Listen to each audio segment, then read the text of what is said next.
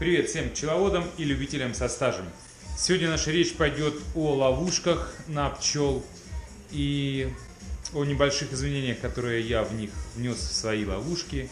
Сейчас я просто с вами этим поделюсь, потому как раньше я делал это, видимо, из-за того, что материала было у меня мало и делал из того, что было.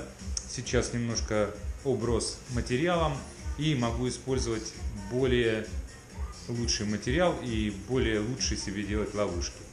Сейчас я покажу старую ловушку и новую, которую я сделаю сейчас с вами. Вот две ловушки. Одна старого образца и вот одна нового образца. Лепил из того, что было раньше. То есть у нас USB. Такая вот. Остатки были после ремонта. Такая маленькая, но тяжелая. USB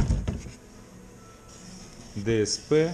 Не рекомендую делать из DSP ловушки, так как они долго не служат, они начинают, хоть я тут и обрабатывал их воском, чтобы никуда ничего не просачивалось, но все равно влага просачивается, и они очень, в общем, тяжелые, намокают, и потом распирает их, они рассыпаются, можно сказать.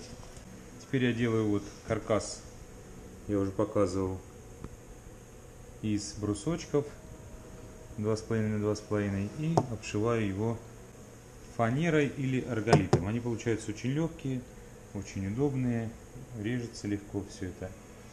Так, но сегодня речь пойдет у нас о крышках. Раньше делал из того, что было. В общем, ну, корявые делал ловушки. Ну, очень загорелся, начал делать как мог. Вот такая вот крышка.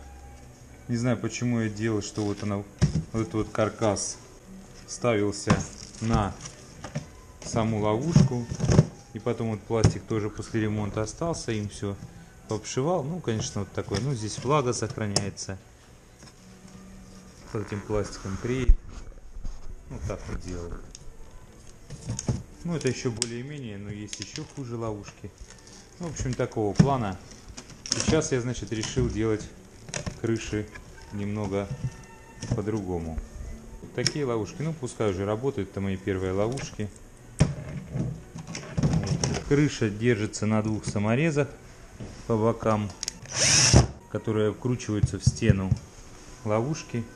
Вот, и в принципе все, вот так она переносится. Ну, тяжелая, маленькая, но тяжелая. В сравнении это легкая, ну, тоже маленькая такая же. Сейчас покажу, как буду делать новые крыши. Заранее я подготовил брусочки такие. У меня получились из того, что в принципе было 28 с половиной, грубо говоря, на 7. Это не столь важно, их ширина, важна их длина. И два брусочка по ловушке. У меня 49 почти с половиной получается. Два брусочка на почти на 5. Боковые брусочки должны быть сделаны таким образом нахлест. А стопором у нас здесь будет служить два самореза. Эти саморезы у нас также будут выполнять функцию, как и стопора этой боковой, чтобы она дальше не уходила, крыша до конца не закрывалась. И к тому же будут привязаны здесь веревочки, чтобы носить к этим же саморезам. Чтобы носить, переносить ловушку было удобнее и легче. Размечаю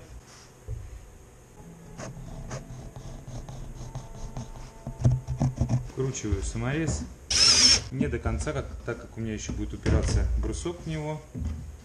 Плюс к тому же будет привязана веревка еще. Второй саморез. Ступоры эти готовы у меня, чтобы дальше боковая планка не пошла по обеим сторонам.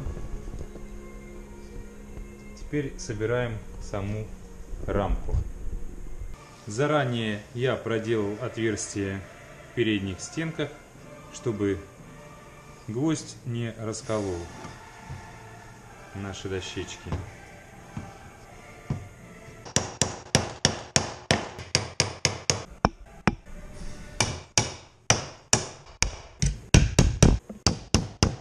Вот так вот мы вставляем. Плотненько получилось. Ну ничего страшного, это хорошо. Все, вот у нас крыша стала. Теперь, чтобы зафиксировать крышу, нам всего лишь понадобится просверлить два отверстия. Одно здесь и одно с другой стороны. К этому брусочку получится прикручиваться будет. И вся крышка будет держаться у нас. Я еще хочу использовать эти ящики иногда для отводков, когда не хватает ульев. Поэтому вот это пространство мне пригодится. Возможно, здесь можно сделать еще вентиляцию при необходимости. И сейчас прикрутим крышку теперь.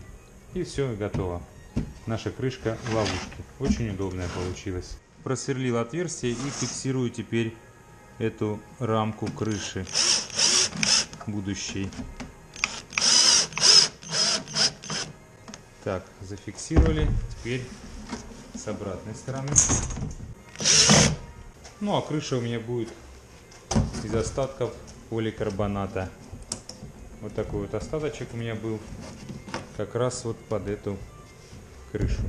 Для прикручивания поликарбоната я использую автомобильные клопы, такие с такой шляпкой, чтобы хорошенечко прижимало и лишняя влага туда не попадала под них.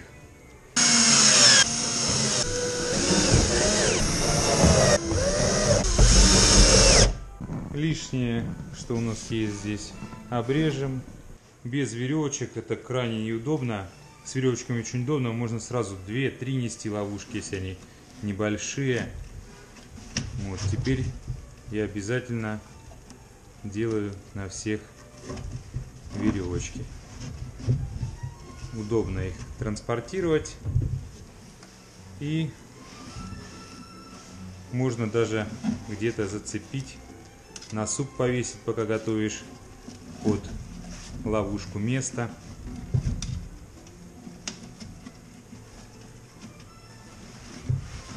Поэтому если делаете, делайте сразу с веревочкой.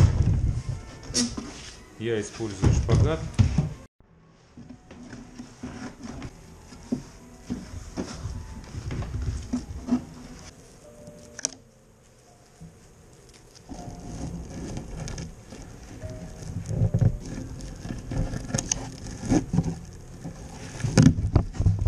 Получились такие весьма удобные ручечки.